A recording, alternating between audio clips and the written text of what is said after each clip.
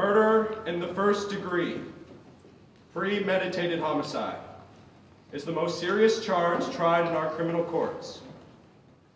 You have heard a long and complex case, ladies and gentlemen, and it is now your duty to try and separate the facts from the fancy. One man is dead. The life of another is at stake.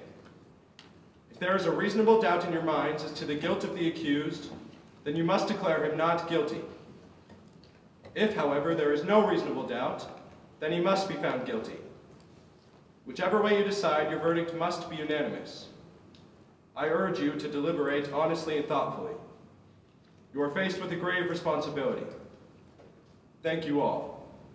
The jury will retire.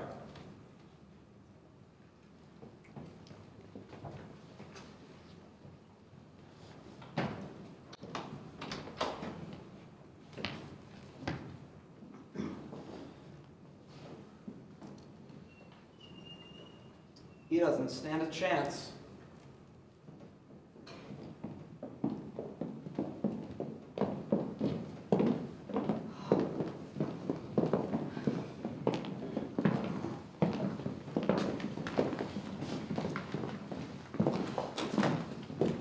Chewing gum? Gum? Gum? Thank you, but no. You know I something? know lots of things. I'm in advertising. You know it's hot. Never would have known that if she hadn't told me, would you? I suppose not. I'd kind of forgotten. All I've done all day is sweat. I bet you aren't sweating like that kid who was tried. You'd think they'd at least air condition the place. I almost dropped dead in court. My taxes are high enough. This should go fast anyway. Yes, it's hot. Okay, ladies and gentlemen, everybody's here. If there's anything you want, I brought outside. Just knock.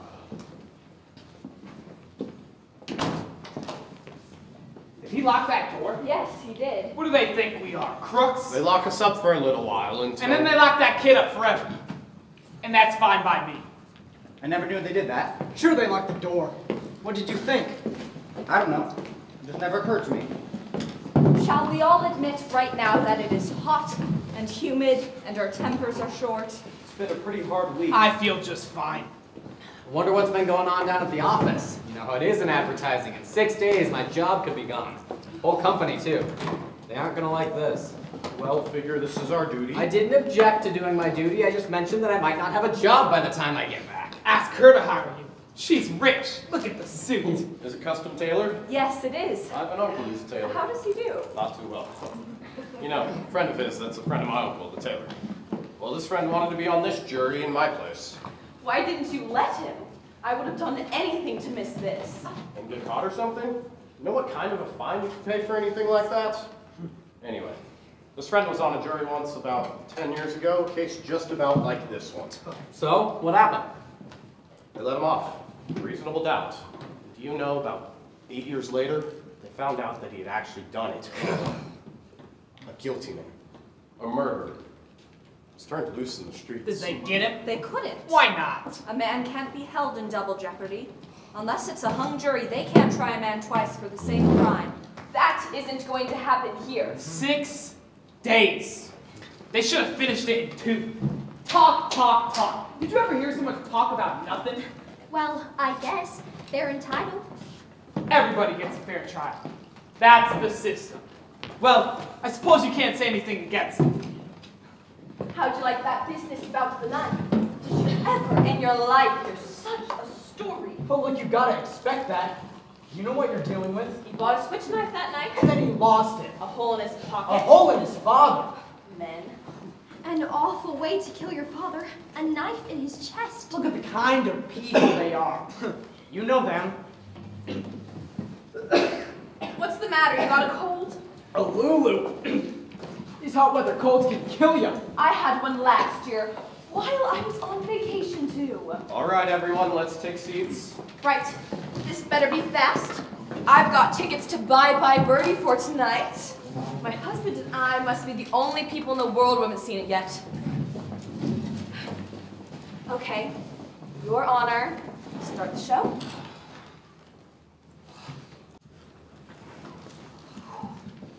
How about sitting down? The gentleman at the window? How about sitting down? Oh, I'm sorry. It's tough to figure, isn't it? A kid kills his father. Bing! Just like that. Well, it's the element. They let the kids run wild. Maybe it serves them right. There's no point in getting emotional about it. It's a question of evidence, not how we feel. We all agreed that it was hot. And then our tempers will get short. That's if we disagree, but this is open and shut. Let's get it done. All right. Now, you all can handle this any way you want to. I mean, I'm not going to make any rules. We want to discuss it first and then vote. That's one way. Or we can vote now and see how we stand. Let's vote now. Who knows? Maybe we can all go home. Yeah, let's see who's where. Right, let's vote now. All right, let us vote. Anybody doesn't want to vote? That was easy. Okay.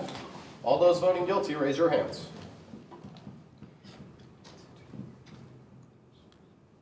Nine, ten, eleven. That's eleven for guilty. Okay. Not guilty. Hey, you're in left field. Okay, eleven to one. Eleven votes guilty, one not guilty. Now we know where we stand. Do you really believe? Do you really believe he's not guilty? I don't know. After six days, he doesn't know. Six days I could learn calculus. This is ABC. I don't believe it is as simple as ABC. I never saw a guiltier man in my life. What does a guilty man look like? He is not guilty until we say he is guilty. Are we to vote on his face? You sat right in court and heard the same things I did. The man's a dangerous killer. You can see it. Where do you look to see if a man is a killer? Oh, well. I would like to know. Tell me what the facial characteristics of a killer are. Maybe you know something I don't know. Look, what is there about the case that makes you think the boy is innocent? He's 19 years Oh, old. that's old enough. He knifed his own father, four inches into the chest. An mm-hmm. innocent little 19-year-old kid. I agree with you that the boy is guilty, but I think we should try to avoid emotionally colored arguments. All right. They proved it a dozen different ways. Do you want me to list them? No. Would you believe that stupid story he told? Now, now. Do you believe the kid's story? I don't know whether I believe it or not. Maybe I don't. So what'd you vote not guilty for? There were 11 votes for guilty. It's not so easy for me to raise my hand and send a boy off to die without talking about it first. Who says it's easy for me or me? No one. He's still just as guilty. Whether it's an easy vote or a hard vote. Is there something wrong because I voted fast? Not necessarily. I think the boy's guilty. You couldn't change my mind if you talked for a hundred years. I don't want to change your mind. Just what are you thinking of? I want to talk for a while. Look, this boy's been kicked around all his life. You know, living in a slum. His mother dead since he was nine. That's not a very good head start. He's a tough, angry kid. You know why slum kids get that way? Because we knock them over the head. Once a day, every day. I think maybe we owe him a few words. That's all. All right, life's hard, sure. It was hard for me. Everything we've got, my husband and I fought for. I worked my way through college, where I met him. That was a long time ago, and perhaps you do forget. I fought. My husband fought, but we never killed. Hmm. I know what it's like. I never killed nobody. I've been kicked around too. Just wait till you've worked in the ad agency and the big boy that buys the advertising walks in. We all know. In my country, in Europe, kicking was a science, but let's try to find something better than that. I don't mind telling you this, mister. We don't owe the kid a thing. He got a fair trial, didn't he? You know what the trap costs. He's lucky he got it. Look, we're all grown-ups here. You're not gonna tell us that we're supposed to believe him, knowing what he is. I've lived among them all my life. You can't believe a word they say. You know that. I don't know that. What a terrible thing for a man to believe. Since when is dishonesty a group characteristic? You hold no monopoly on the truth. All right. It's not Sunday. We don't need a sermon. What this man says is very dangerous. I don't see any need for arguing like this. I think we ought to be able to behave like ladies and gentlemen. Right. Oh, all right, if you insist. Thank you. Sure. If we're going to discuss this case, why, let's discuss the facts. I think that's a good point. We have a job to do.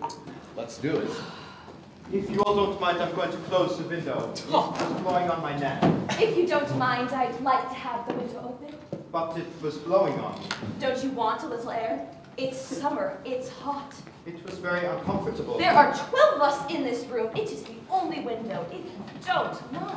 I have some rights too. So do the rest of us. Couldn't you trade chairs with someone at the other end of the table?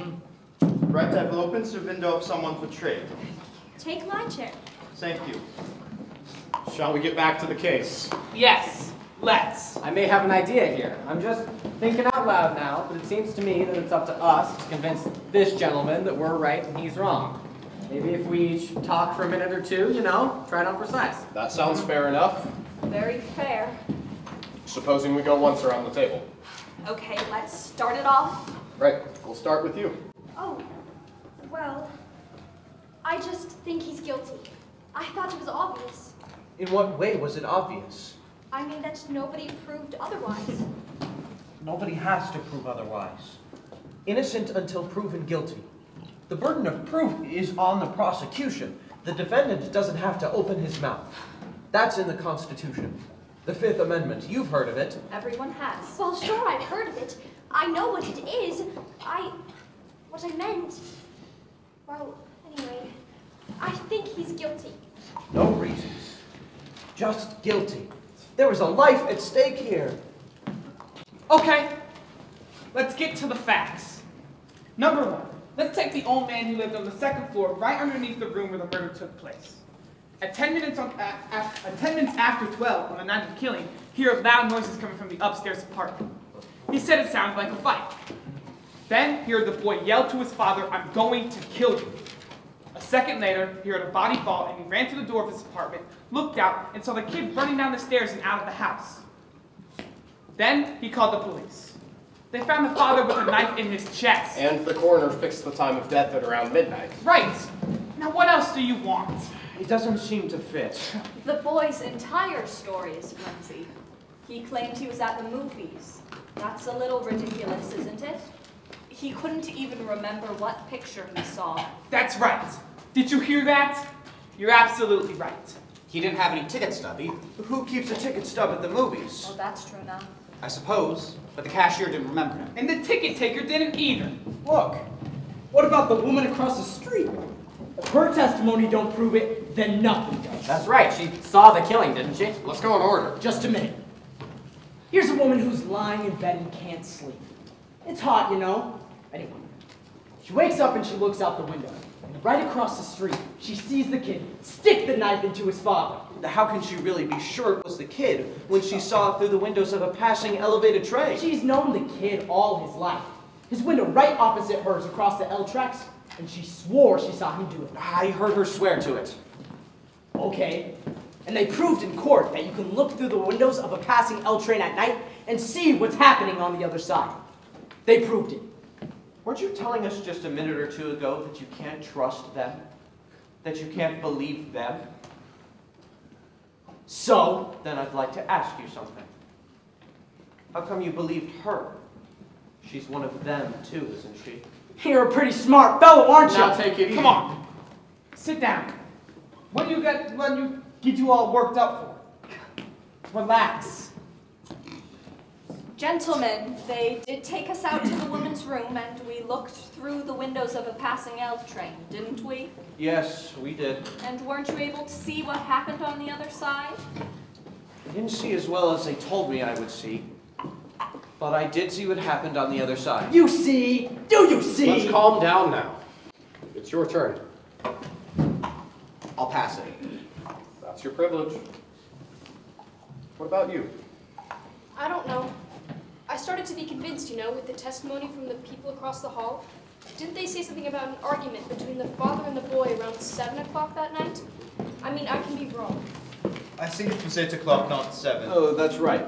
Eight o'clock. Mm-hmm. They heard the father hit the boy twice and then saw the boy walk angrily out of the house. Right. What does that prove? Well, it doesn't exactly prove anything. It's just part of a picture. I didn't say it proved anything. Anything else? No. I don't know. Most of it's been said already. We can talk all day about this thing, but I think we are wasting our time. I don't. Neither do I. Go on. Look at the boy's record. He stole a car. He's been arrested for mugging. I think they said he stabbed somebody in the arm. They did. He was picked up for knife fighting. At 15, he was in reform school. And they sent him to reform school for stabbing somebody. Mm-hmm. This is a very fine boy. Ever since he was five years old, his father beat him up regularly. He used his fists. So would I, on a boy like that. Or if I couldn't, I'd see that his father did. You're right. It's the kids. The way they are, you know, they don't listen. I've got a kid. When he was eight years old, he ran away from a fight. I saw him. I was so ashamed. I told him right out, I'm gonna make a man out of you, or I'm gonna bust you up into little pieces trying.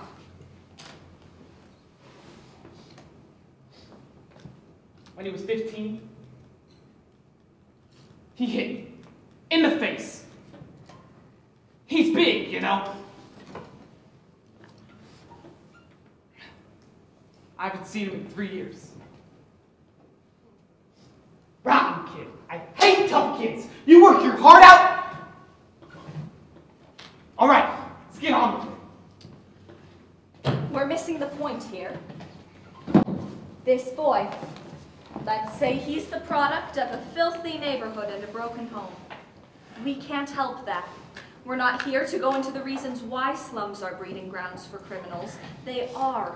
I know it, so do you. Children who come out of slum backgrounds are potential menaces to society. You said it there. I don't want any part of them. Believe me.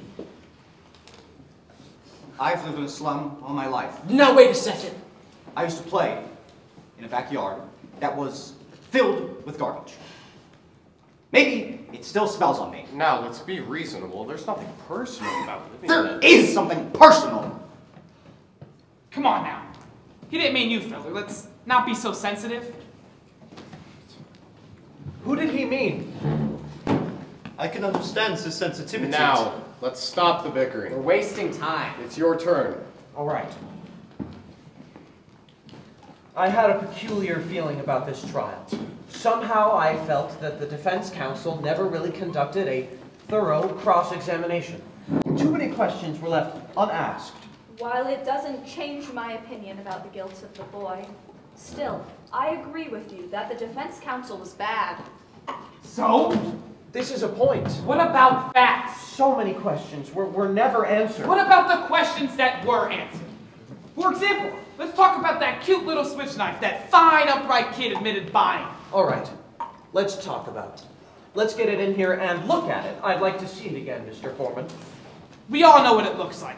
I don't get the point of seeing it again. What do you think? The gentleman has a right to see exhibits and evidence. Fine by me. This knife is a pretty strong piece of evidence, don't you agree? I do. Now let's get the sequence of events right as they relate to the switch knife. The boy admits to going out of the house at 8 o'clock after being slapped by his father. Or punched. Or punched. He went to a neighborhood store and bought a switch knife. The storekeeper was arrested the following day when he admitted selling it to the boy. I think everyone agrees that it's an unusual knife. Pretty hard to forget something like that. The storekeeper identified the knife and said it was the only one of its kind he had in stock. And why did the boy get it? As a present. For a friend of his, he says. Am I right so far? Right. You bet she's right. Now listen to the lady. She knows what she's talking about. Next, the boy claims that on the way home, the knife must have fallen through a hole in his coat pocket. That he never saw it again. Now, there's a story. You know what actually happened? The boy took the knife home, and a few hours later stabbed his father with it, and even remembered to wipe off the fingerprints.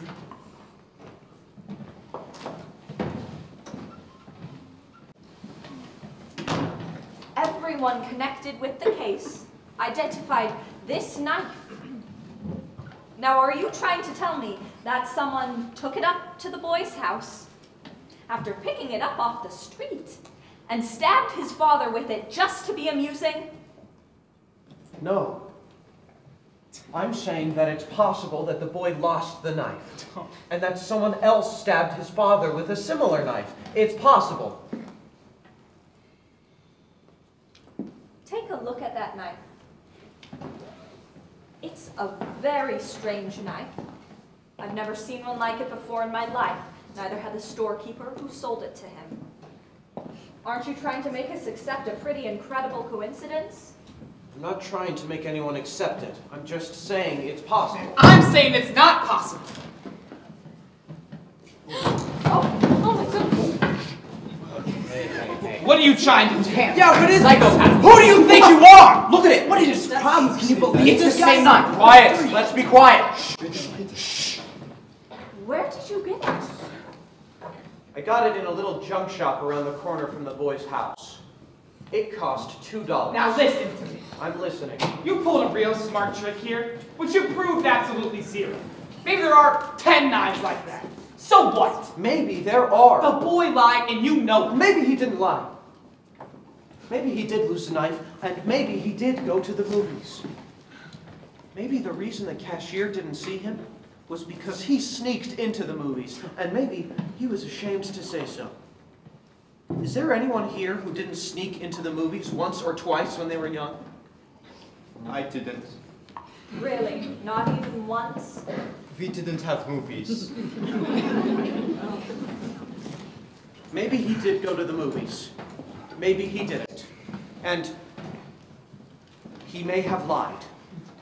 Do you think he lied? Now that's a stupid question. Sure, he lied. Do you? And you don't have to ask me that. You know my answer. He lied. Do you think he lied? I I don't know. Now, wait a second. What are you, the boy's lawyer? Listen, there are still 11 of us who think he's guilty. You're alone. What do you think you're going to accomplish?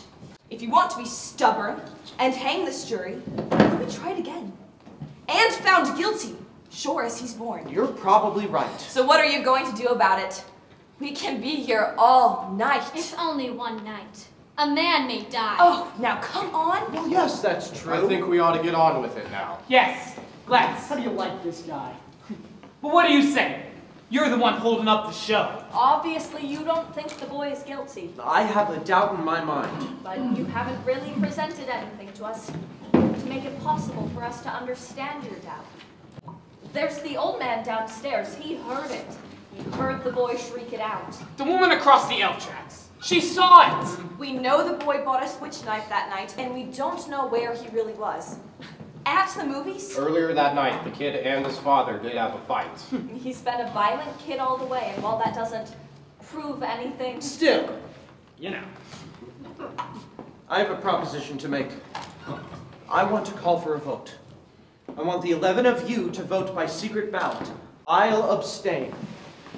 If there are still 11 votes for guilty, I won't stand alone. We'll take in a guilty verdict right now. Okay, let's do it. That sounds fair. Is everyone agreed? I certainly am. Let's roll it. Perhaps this is best.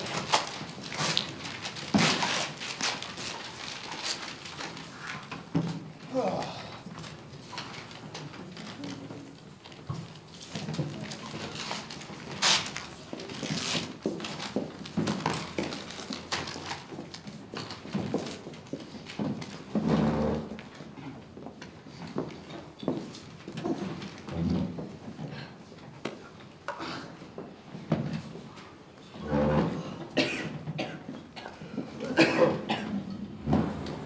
Guilty.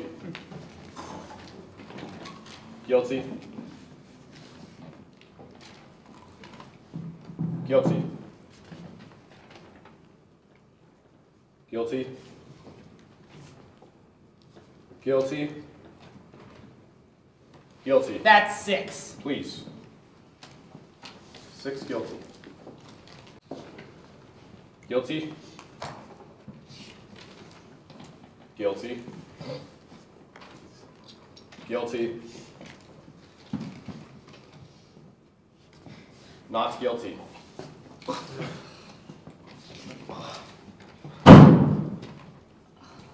Guilty. How do you like that? Who was it? I think we have a right to know. All right. Who did it? What idiot changed their vote? Is that the way to talk about a man's life? Whose life are you talking about? The life of a dead man or the life of a murderer? I want to know. Who? So do I.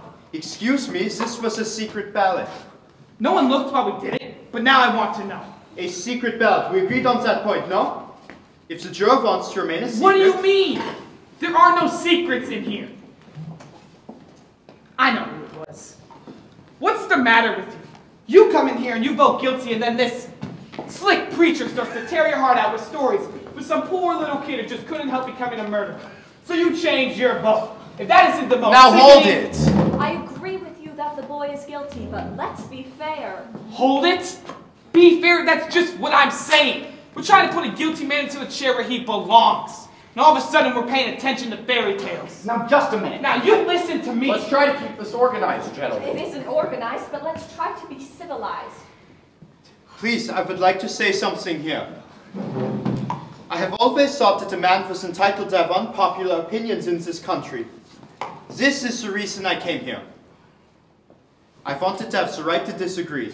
Do you disagree with us? Usually I would. In this one case, I agree with you. But the point I wish to make is that in my own country, I am ashamed to say. Oh, now. What do we have to listen to? The whole history of your country? It's always wise to bear in mind what has happened in other countries when people aren't allowed to disagree, but we are, so let's stick to the subject. Yeah, let's stick to the subject. I want to ask you, what made you change your vote? I want to know too. You haven't told us yet. Why do you think I did change my vote? Because I do. Now, get on with it. There's nothing for him to tell you. He didn't change his vote. I did. I was going to tell you, but you're so sure of yourself. Sorry. Okay now. Maybe you'd like to know why. Let me tell you why that kid's a... The lady wants to talk. Thank you.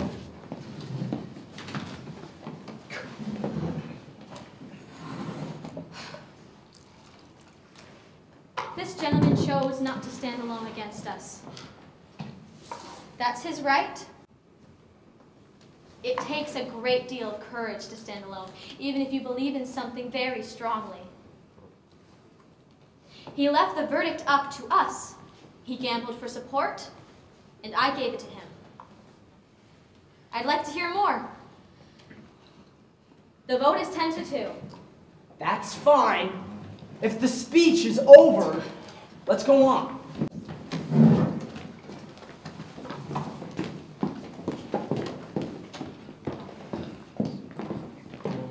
If there was anything in the kid's favor, I vote not guilty. I don't see what it is. Neither do I. They're clutching at straws. As guilty as they get. That's the boy, I suppose. It's that one juror who's holding out, but he'll come around. He's got to, and fundamentally, he's a very reasonable man. I guess so. They haven't come up with one real fact yet to back up a not guilty verdict. It's hard, you know? Yes, it is. And what does guilty beyond a reasonable doubt really mean? What's a reasonable doubt? Exactly. When a life is at stake, what is a reasonable doubt?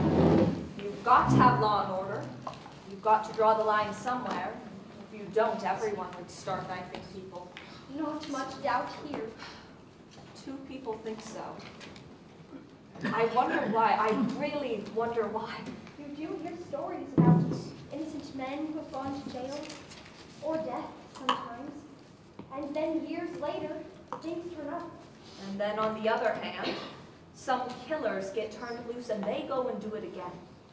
They squeeze out on some technicality and kill again. Look, buddy. Now that we've kind of cooled off, why, uh... I didn't mean to get nasty earlier. Well, you know how it is. Nothing personal. Okay. Look, supposing you answer me this. If the boy didn't kill him, who did? As far as I know, we're supposed to decide whether or not the boy on trial is guilty. We're not concerned with anyone else's motives here. I suppose. But who else had a motive? The boy's father was along in years. Maybe an old grudge. Remember, it is guilty beyond a reasonable doubt. This is an important thing to remember. Everyone's a lawyer. Supposing you explain to us what your reasonable doubts are. This is not easy. So far, it's only a feeling I have. a feeling. Perhaps you don't understand. No, I don't. A feeling? What are we gonna do? Spend the night talking about your feelings? What about the facts? You said a mouthful. Listen, the old man heard the kid say to his father, I'm going to kill you. A second later, he heard a body falling, and 15 seconds after that, he saw the kid run out of the house. Where's the reasonable doubt in that? That's right, and let's not forget the woman across the street. She looked into the open window and saw the boy stab his father. She saw it. Now, that's not enough for you. It's not enough for me. What is enough for you? I'd like to know. How'd you like him? It's like talking into a dead phone. The woman saw the killing through the windows of a moving elevated train. The train had five cars, and she saw through the windows of the last two cars. She remembers the most insignificant details. Well, what have you got to say about that? I don't know. It doesn't sound right to me. Well, supposing you think about it, lend me your pen.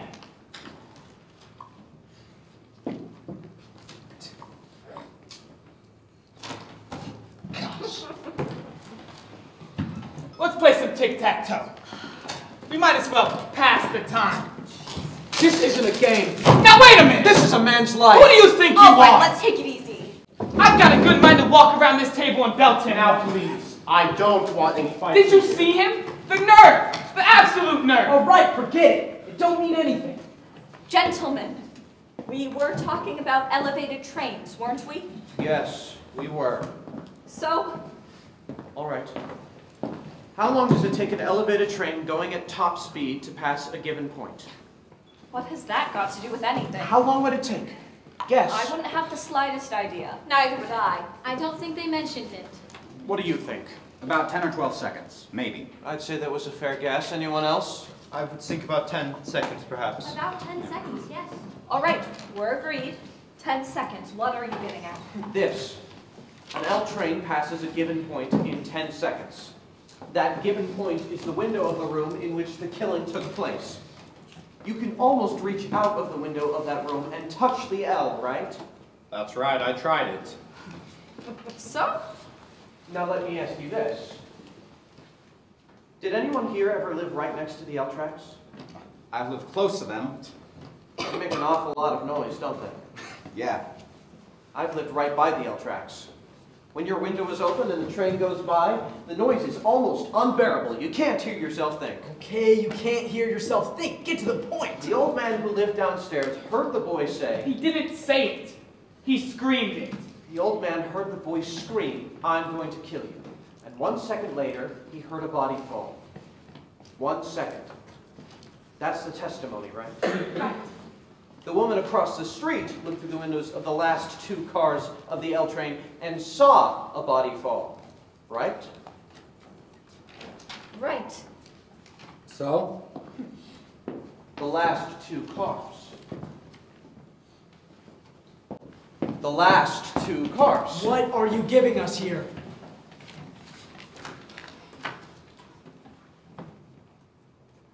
An L train passes a given point in 10 seconds, or two seconds per car. That L had been going by the old man's window for at least six seconds, or maybe more, before the body fell, according to the woman. The old man would have had to hear the boy say, I'm going to kill you, while the front of the L was roaring past his nose. It's not possible that he could have heard it. What do you mean? Sure he could have heard it. With an L train going by? The boy yelled it out. An L train makes a lot of noise. It's enough for me.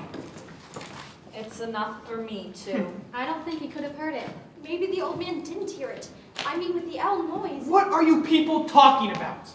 Are you calling the old man a liar? Something doesn't fit.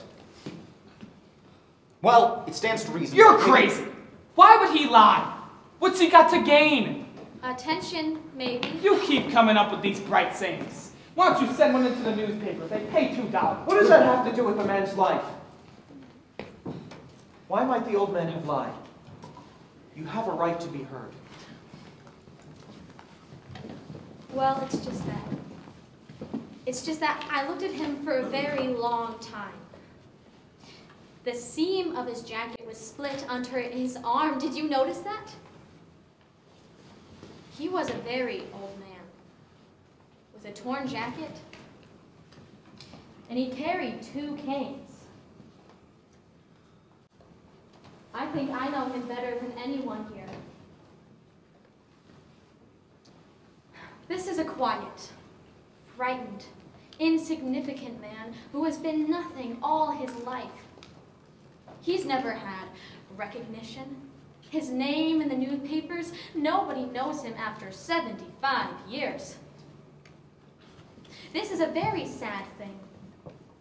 A man like this needs to be recognized, to be questioned and listened to and quoted just once. This is very important. And you're trying to tell us that the old man lied about a thing like this just so he could be important? No. He wouldn't really lie, but perhaps he'd convince himself that he heard those words and recognized the boy's face. Well, that's the most fantastic story I've ever heard. How can you make up a thing like that? I'm not making it up. You must be making it up. People don't lie about things like that. He made himself believe he told the truth. What do you know about it? I speak from experience. What?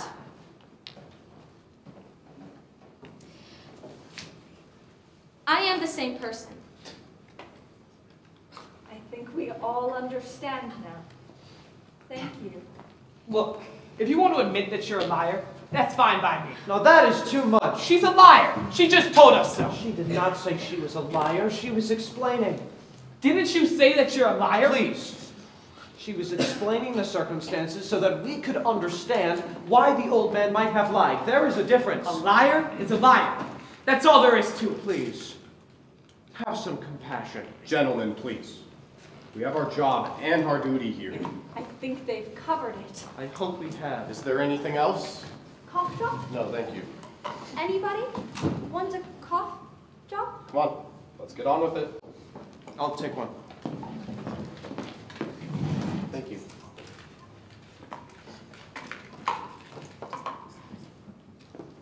All right, now there's something else I'd like to point out here. I think we proved that the old man couldn't have heard the boy say, I'm going to kill you. Well, I disagree. Let's hear him through anyway. But, supposing the old man really did hear the boy say, I'm going to kill you. This phrase. How many times has each of you used it? Probably hundreds. If you do that once more, Junior, I'm going to murder you. Come on, Rocky, kill him! We say it every day. This doesn't really mean that we're going to kill someone. Don't the circumstances alter that somewhat? The old man was murdered. One thing more. The phrase was, I'm going to kill you. And the boy screamed it at the top of his lungs. That's the way I understand it. Now, don't try to tell me he didn't mean it. Anybody says a thing like that the way he said it, they mean it. And how they mean it. Then let me ask you this. Do you really think the boy would shout out a thing like that so the whole neighborhood would hear it? I don't think so. He's much too bright for that. Right? He's a common, ignorant slob. He don't even speak good English. He doesn't even speak good English. The boy is clever enough. I'd like to change my vote to not guilty. Are you sure? Yes, I'm sure. Vote nine to three in favor of guilty. I'd like to know why you've changed your vote. There's a doubt. Where? What is the doubt? Well, there's the knife. Oh, fine. He talked you into believing a fairy tale. Go on. Give us the reasons. The old man, too. Maybe he didn't lie, but then just maybe he did. Maybe the old man doesn't like the kid. Oh, well, if that isn't the end, I believe there's reasonable doubt. what are you basing it on? Stories that this guy made up? He ought to write for Amazing Detective Monthly. He'd make a fortune. Listen, the boy had a lawyer, didn't he? Why didn't his lawyer bring up all these points? Lawyers can't think of everything. Oh, brother. You sit in here and pull stories out of thin air. Now we're supposed to believe that the old man didn't get out of bed, run to the door, and see the boy beat it downstairs 15 seconds after the killing. That's the testimony, I believe. And the old man swore to this. Yes, he swore to this only so he could be important. Did the old man say he ran to the door? Ran, walked. What's the difference? He got there. I don't remember what he said, but I don't see how he could run. He said he said he went. I remember it now. He went from his bedroom to the front door. That's enough, isn't it? Where was his bedroom again? Down the hall somewhere. Down the hall. Are we to send a man off to die because it's down the hall somewhere? I thought you remembered everything. Don't you remember that? No, I don't. I don't remember either. Mr. Foreman, I'd like to take a look at the diagram of the apartment. Why don't we have them run the trial over? Just so we get everything straight. His bedroom is down the hall somewhere. Do you know? Do you know exactly where it is? Please. A man's life is at stake. Do you know? Well, uh, Mr. Foreman. I heard you. All right, what's this one for? How come you're the only one who wants to see the exhibits all the time? I want to see this one too. So do I. And I want to stop wasting time. Are we going to start waiting for all that nonsense about where the body was found? No. We're going to find out how a man who's had two strokes in the past three years and who walks with a pair of canes could get to his front door in 15 seconds. He said 20 seconds. He said 15. How does he know how long 15 seconds is? You can't judge that kind of thing. He said 15. He was very positive about it. He's an old man. Half of the time he was confused. How could he be positive about anything? Well, uh, you know. No. I don't know. Maybe you know. Is this what you wanted? That's right, thank you. Sure. It's my job. You want this? Yes. Please. do me a favor. Wake me up when this is over. I looked at that diagram for two hours. Enough is enough. Some of us are interested. Go ahead. All right. This is the apartment in which the killing took place. The old man's apartment is directly beneath it, and exactly the same. Here are the L tracks, the bedroom, another bedroom, living room, kitchen, bathroom. And this is the hall. Here's the front door to the apartment, and here are the steps. Now, the old man was in bed in this room. He says he got up, went out into the hall, down the hall to the front door, and opened it, and looked out just in time to see the boy racing down the stairs. Am I right? That's the story. That's what happened. 15 seconds after he heard the body fall. Correct. His bed was at the window. It's 12 feet from his bed to the bedroom door. The length of the hall is 43 feet, 6 inches.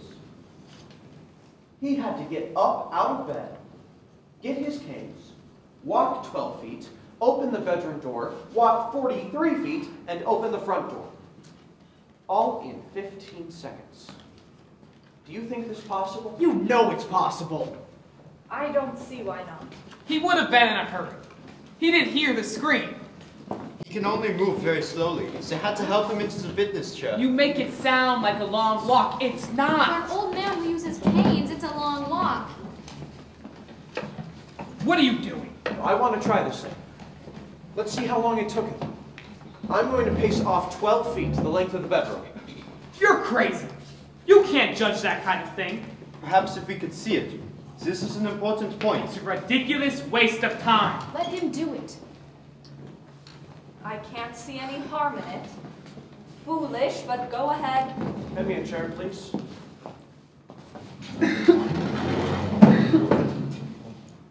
All right.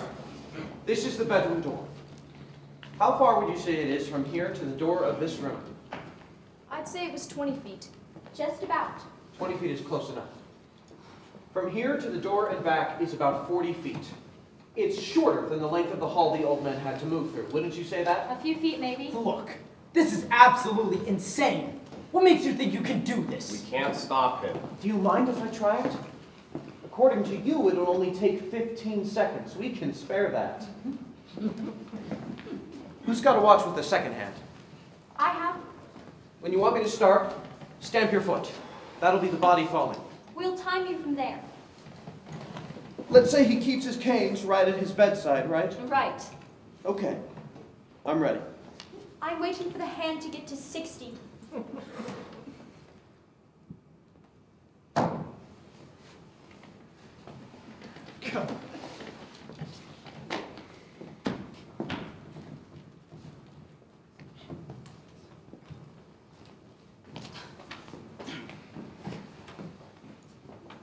Speed it up.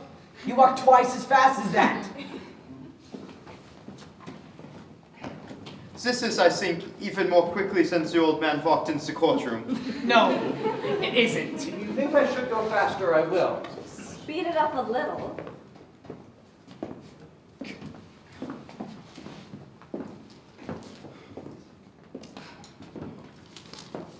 Stop. Right. What's the time? 15, 20, Oh. 30, 35, 39 seconds exactly.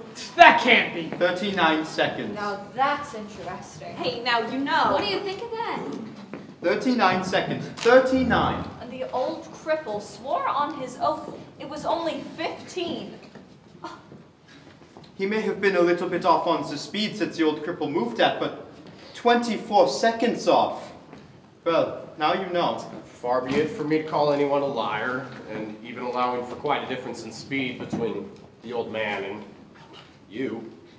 Why, there's still quite a Quite a discrepancy. Yeah. It's my guess that the old man was trying to get to the door, heard someone racing down the stairs, and assumed that it was the boy. I think that's possible. Assumed? Now listen to me, you people. I've seen all kinds of dishonesty in my day, but this little display takes the cake. What dishonesty? Tell him! You come in here with your heart bleeding all over the floor about slum kids and injustice, and you make up these wild stories. And you've got some soft-hearted old ladies listening to you. Well, I'm not. I'm getting real sick of you. What's the matter with you people? The kid is guilty. He's got to burn. We're letting him slip through our fingers. Our fingers. Are you his executioner? I'm one of them. Perhaps you'd like to pull the switch. For this kid, you bet I'd like to pull the switch. I'm sorry for you. Don't start with me. What it must feel like to want to pull the switch. Shut up! You're a sadist. Shut up! You want to see this boy die because you personally want it, not because of the facts. You are a beast. You disgust me. Shut up! Hey, let me go! I'll kill him! I'll kill him! You don't really mean you'll kill me, do you?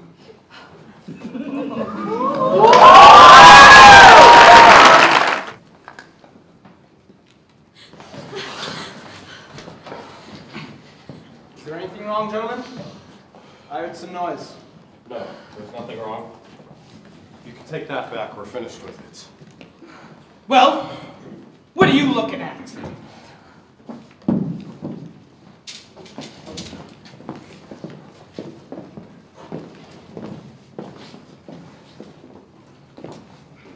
I don't see why we all have to behave like children here.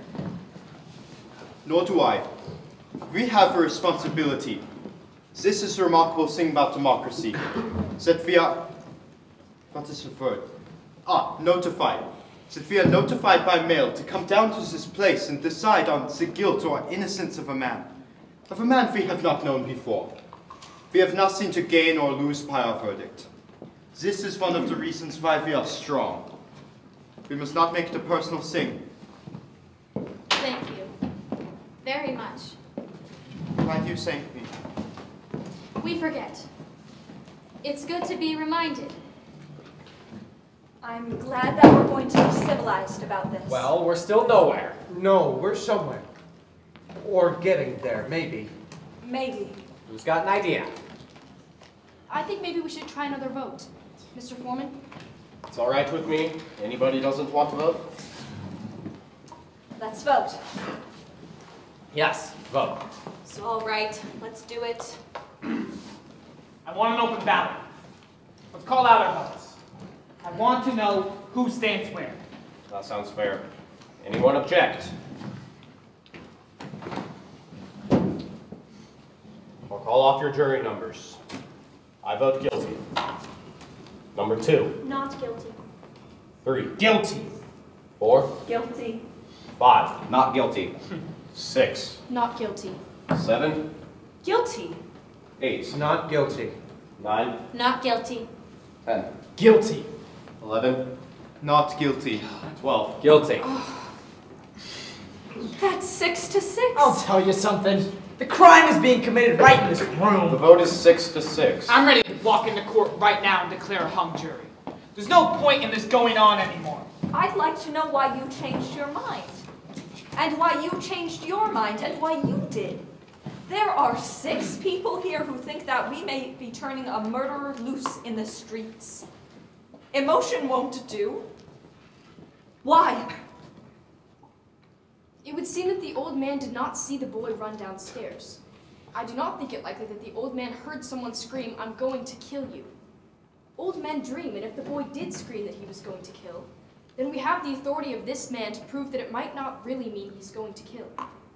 Why don't we take it into the judge and let the boy take his chances with 12 other jurors? Six to six. I don't think we'll ever agree on anything. It's got to be unanimous. They were never going to be able to convince him. At first I was alone. Now five others agree. There is a reasonable doubt. You can't ever convince me that there's a doubt.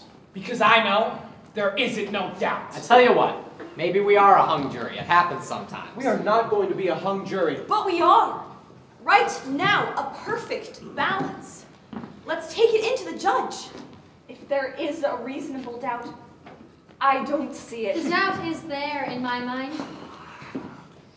Maybe we should vote. What do you mean vote? Not again. I still want to know. Vote on what? Are we or aren't we a hung jury? You mean that we vote yes, we are a hung jury, or no, we are not a hung jury? That's just what I was thinking of. We can't even agree about whether or not the window should be open. We'll make it a majority vote. The majority wins. If seven or more of us vote yes that we are a hung jury, then we take it into the judge and tell him that we are a hung jury. Right? And if seven or more vote no, then we aren't a hung jury and we go on discussing it. It doesn't seem quite right to me. It's the only solution. I agree. It's the only way. And to end this, Are we agreed then? Seven or more votes yes, and we take it into the judge. Let's call our votes out. Okay. I vote guilty. Number two, No. three, Yes. four, Yes. five, No. six, No. seven, Yes. eight, No. nine, No. ten, Yes. eleven. No. yes. Oh, no! It's six to six. We can't even get a majority to decide whether or not we are a hung jury. I went along with the majority vote on this question, and I didn't agree with voting that way, not really. And I still don't, so I'm changing my vote. I say that no, we are not a hung jury. I believe that the boy is guilty beyond a reasonable doubt. There are some things I want to find out from those people that changed their minds. Then we aren't a hung jury, so we go on. Good. We go on. Why did you change your mind? He, he seems so sure, and he has made a number of good points, hmm. while he only gets mad and insults everybody. Does the anger and the insult change the guilt of the accused? The boy did do it. Are you going to turn a murderer loose in the street Because one of the jurors gets angry when he thinks a murderer is being turned loose? That's true. There is a doubt. I don't think so. The track is straight in front of the window. Let's take that point. So the L train would have made a low rumbling noise. L trains screech when they go around curves. So the old man could have heard a scream, which is high pitched, and it is a tenement and they have thin walls. Good. Good. That's it. That's it. And what if the old man was wrong about how long it took him to get to the door, but he was right about whom he saw running down the stairs? Please remember that there weren't any fingerprints on the knife, and it is summer, so gloves seem unlikely. Now I want you to listen to this lady. She's talking sense. And it might have taken a few seconds for him to get a handkerchief out and wipe away the fingerprints. This is a point. Why don't we just time this one? To see. Just what are we timing? Yes, let's be exact, please. I am saying that the old man downstairs might have been wrong about how long it took him to get to the door, but that he was right about whom he saw coming down the stairs. Now, it may have taken the murderer about 39 seconds to wipe away the fingerprints and get down the stairs to the place where the old man saw him. The boy, that is. This is right. We reconstructed the old man getting out of bed and going to the door, and we timed that. Now let's reconstruct the actual crime. As well as we can reconstruct it. I think a murderer could use up 30 or 40 seconds pretty easily at that point. Let's reconstruct the killing. Yes, let's. Here, you do the stabbing. No, I'll do it.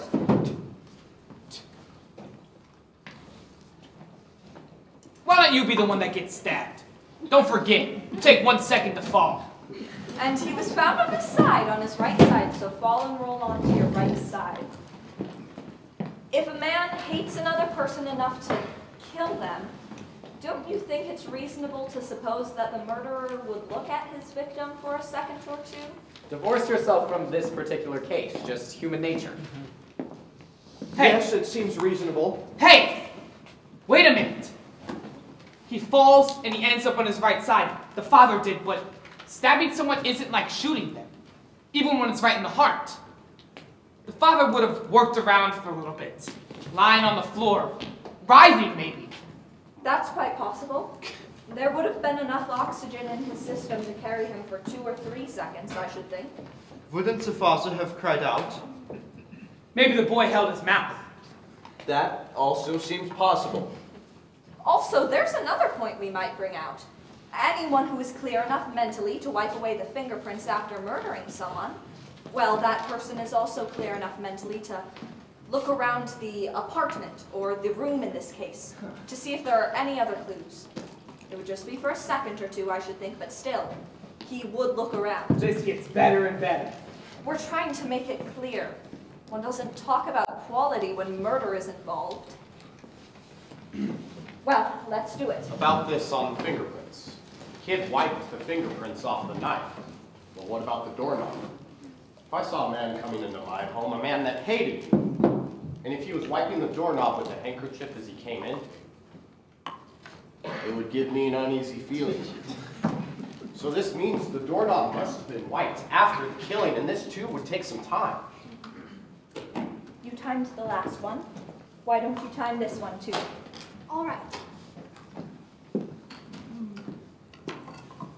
Stamp your foot when you want me to start. I want the hand to be at 60. I'm going to kill you! Ah!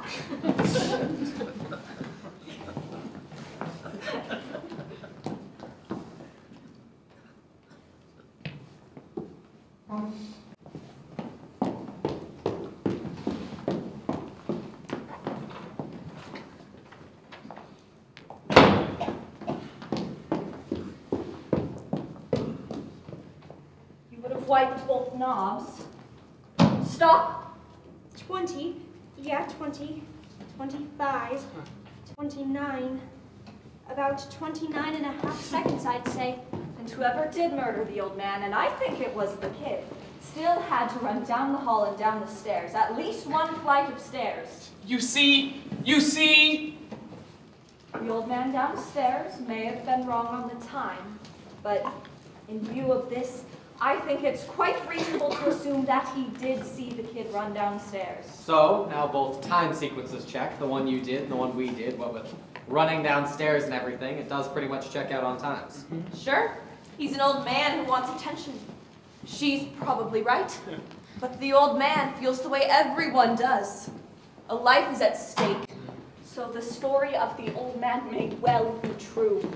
Except for the fact that he absolutely swore under oath that it was only 15 seconds. We seem to all agree it was 25 to 40 seconds later.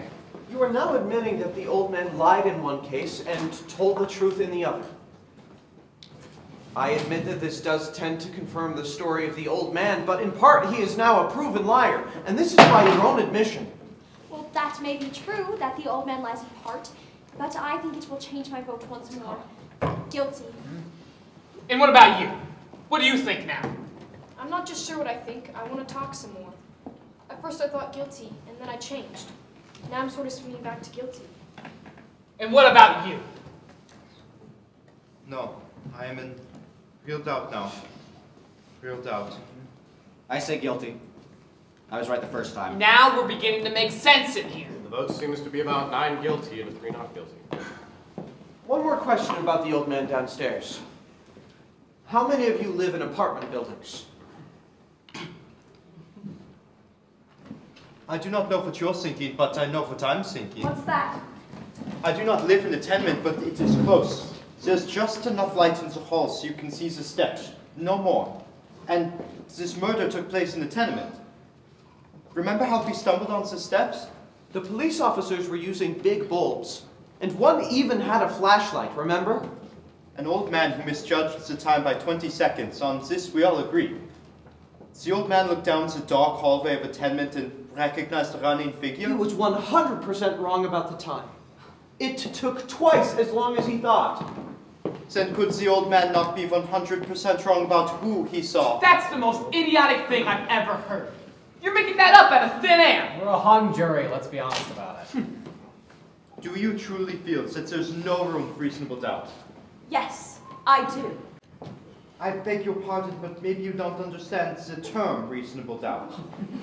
What do you mean I don't understand it? Who do you think you are to talk to me like that? How do you like this guy? He comes over here running for his life, and before he can even take a big breath, he's telling us how to run the show. The arrogance of him. No one here is asking where anyone came from. I was born right here. Or where your father came from. Maybe it wouldn't hurt us to take a few tips from people who come running here. Maybe they learned something we don't know. We're not so perfect. Please, it's all right. I'm used to this. Thank you. It's not all right. Okay. Okay. I apologize. Is that what you want? That's what I want. All right. Let's stop the arguing. Who has something constructive to say? Well, something's been bothering me a little. Oh. This whole business about the stab wound and how it was made, the downward angle of it. Don't, You know? don't tell me we're going to start that again. They went over it and over it in court. I know they did, but I don't go along with it. The boy is five feet eight inches tall. His father was six feet two inches tall. That's a difference of six inches. It's a very awkward thing to stab down into the chest of someone who's half a foot taller than you are. Look, you're not going to be satisfied till you see it again. I'm going to give you a demonstration. Somebody get up.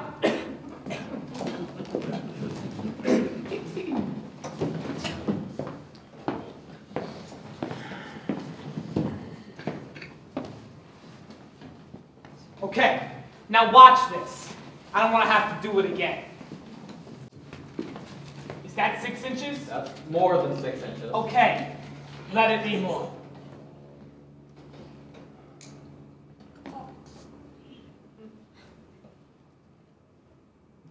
It's not funny. What's the matter with you? Now just calm down.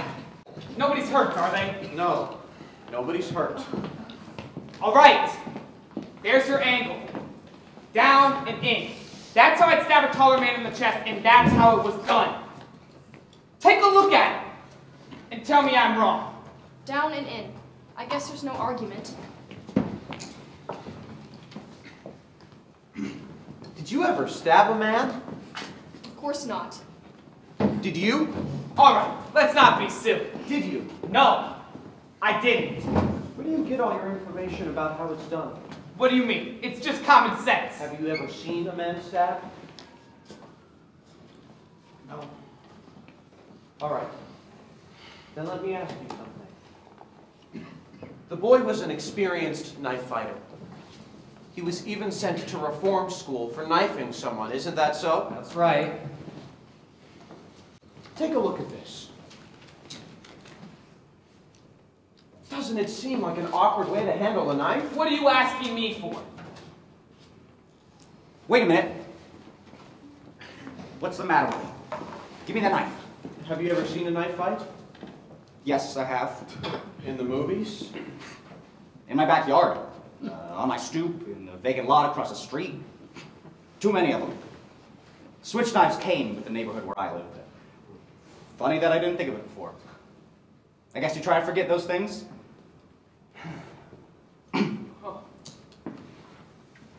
Anyone who's ever used a switch knife would never have stabbed downward. You don't handle a switch knife that way. You use it underhanded. Then he couldn't have made the kind of wound that killed his father. I suppose. It's conceivable he could have made the wound, but it's not likely. I don't believe it. Neither do I. You're giving us a lot of mumbo jumbo. What do you think? Well, maybe. What about you? Listen, I'll tell you all something. I'm a little sick of this whole thing already. We're getting nowhere fast. Let's break it up and go home. Before we decide anything more, I would like to try to pull this thing together. This should be good. He has a right. Let him go ahead. Do you want me to time this too? Let's hear him. I mean, advertising. I'm used to the big shots pulling things together. Let's chip up a few shots and see if any of them land on the green. I want you all to look at this logically and consistently. We have. Guilty. I want to know, is the kid smart or is the kid dumb? What do you mean? This is a boy who has gone to the reform school for knife fighting. On the night of the murder, he bought a knife, a switch knife. It would then take a very stupid kid to go and murder a man, his father, with an instrument that everyone would associate with the kid. I quite agree. He's dumb. However, if he were dumb, then why did he make the kind of wound that an inexperienced man would make with a knife? I'm not sure I understand. To murder someone must take a great emotion, great hatred. And at that moment, he would handle the knife as best he could, and a trained knife fighter would handle it as he had been trained, underhand. A man who had not been trained would go overhand, but the kid is being very smart. Everyone knows that he is an experienced knife fighter, so at that moment, he is smart enough to make the kind of wound that an amateur would make. That man is a smart man. Smart enough to wipe fingerprints away. Perhaps even smart enough to wait until an L train was going by in order to cover the noise. Now, is the kid smart or is he dumb? Now wait a Well, minute. the woman across the L track saw the murder through the L train. So someone in that train could have seen the murder too. A possibility. But no one did that we know of. It would take an awfully dumb man to take that chance. Doing the murder as the train went by. Exactly. A dumb man. A very stupid man. A man swept by emotion. Probably he heard nothing. He probably didn't even hear the train coming. And whoever did murder the father did it as well as he could. So?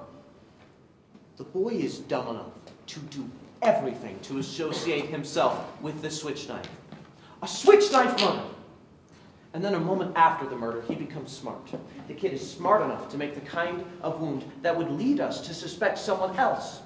And yet, at the same instant, he is dumb enough to do the killing as an L train is going by.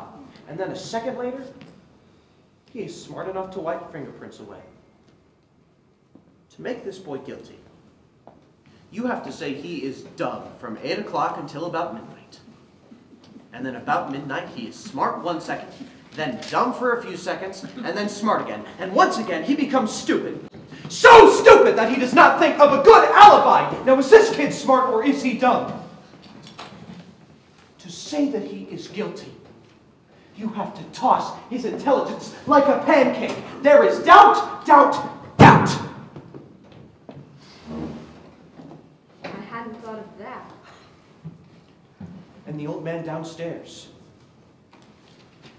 On the stand, he swore that it was 15 seconds. He insisted on 15 seconds, but we all agreed that it must have been almost 40 seconds. Does the old man lie half the time, and then does he tell the truth the other half of the time? For the kid to be guilty, he must be stupid, then smart, then stupid, then smart, and so on. And also, for the kid to be guilty, the old man must be a liar half of the time, and the other half of the time he must tell the truth.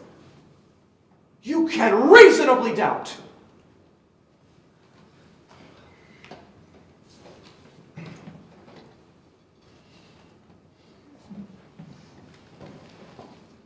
I'm sold on reasonable doubt. I think I am too.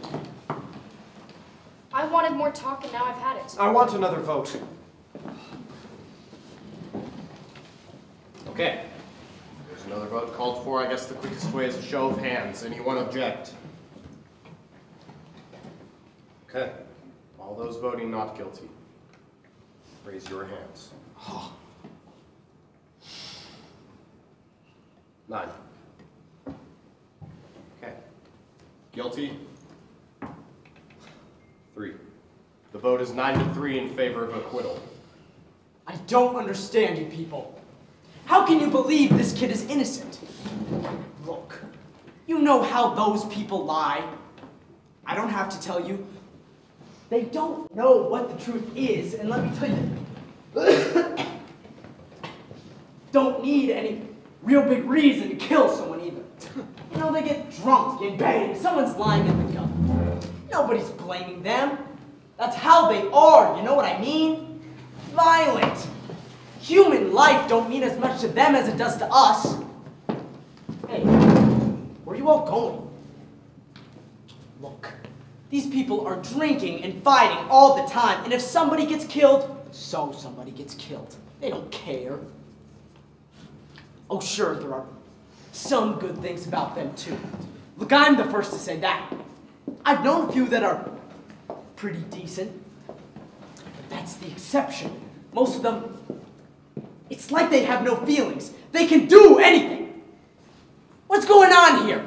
I'm speaking my piece and you. Listen to me! They're no good! There's not a one of them who's any good! We better watch out, take it from me. This kid on trial. well, don't you know about them? Listen to me, what are you doing? I'm trying to tell you something! I've had enough! If you open your mouth one more time, I am going to scratch your eyes out. I'm only trying to tell you.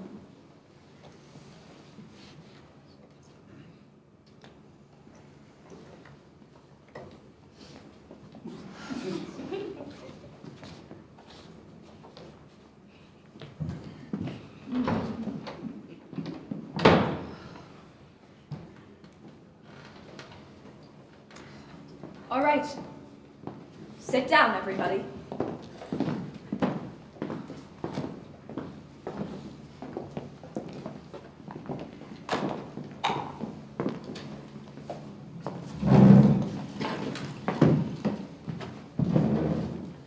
I still believe the kid is guilty of murder. I'll tell you why. To me, the most damning evidence was given by the woman across the street who claimed she actually saw the murder committed. That's right. As far as I'm concerned, that's the most important testimony. All right. Let's go over her testimony. What exactly did she say? I believe I can recount it accurately. She said that she went to bed at around 11 o'clock that night. Her bed was next to the open window, and she could look out of her window while lying down and see directly into the window across the street. Mm-hmm. She tossed and turned for over an hour, unable to fall asleep. Finally, at about 12:10, she turned toward the window, and as she looked out, she saw the boy stab his father. As far as I can see, this is unshakable testimony. That's what I mean. That's the whole case. Frankly, in view of this, I don't see how you can vote for acquittal. Well, what do you think of it? Well, maybe. There's so much evidence to What do you it's- mean, maybe? She's absolutely right. You can throw out all the other evidence. That was my feeling. I don't deny the validity of the points he has made. Shall we say that on one side of the tracks, there is doubt? But what can you say about the story of the woman? She saw it? What time is it? 610? You don't suppose they'd let us go home and finish it in the morning? My little girl has the mumps. Not a chance. Can't you see the clock without your glasses? Not clearly. Oh. Glasses are a nuisance, aren't they? Well, what do you all do when you wake up at night and want to know what time it is? I put my glasses on and look at the clock. I just lie in bed and wait for the clock to chime. My father gave it to me when we married, my husband and I. It was ten years before we had a place to put it. Do you wear your glasses to bed? Of course not. No one wears eyeglasses to bed. The woman who testified that she saw the killing wears glasses. What about her? Did she wear glasses? Of course. The woman wore bifocals. I remember this very clearly. They looked quite strong. That's right. Bifocals. She never took them off. I think it's logical to say that she wasn't wearing her glasses to bed.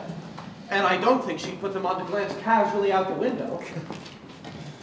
She testified that the murder took place the instant she looked out the window, and that the lights went out a split second after. She couldn't have had time to put on her glasses then. Now, perhaps this woman honestly thought she saw the boy kill his father. I say she only saw a blur. How do you know what she saw? Maybe she's farsighted. How does she know all these things?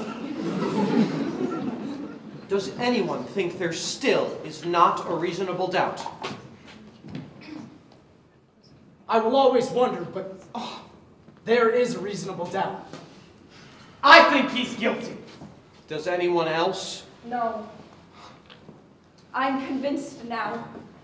There is a reasonable doubt. You're alone. Eleven votes not guilty, one guilty. I don't care whether I'm alone or not. I have a right. Yes, you have a right. Well, I told you.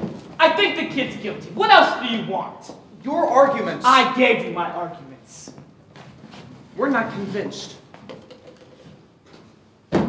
We're waiting to hear them again. We have time.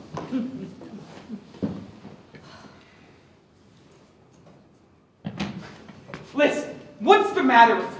You're the one who made all the arguments. You can't turn now. A guilty man's going to be wandering the streets, a murderer. He's got to die. Stay with me. I'm sorry. I'm convinced. I don't think I'm wrong often, but I guess I was this once. There is a reasonable doubt.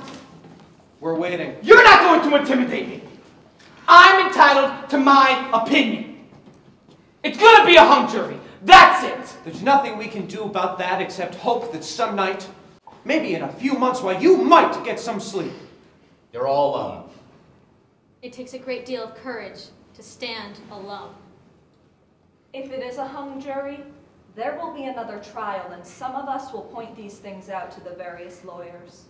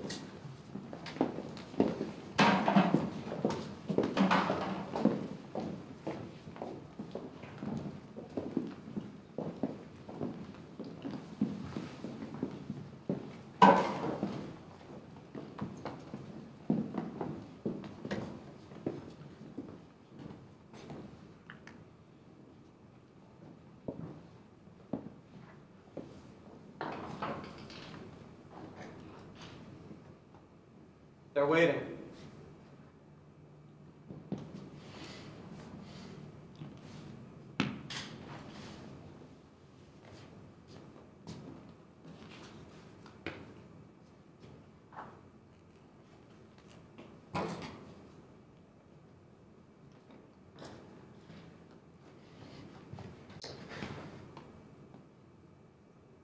Not guilty.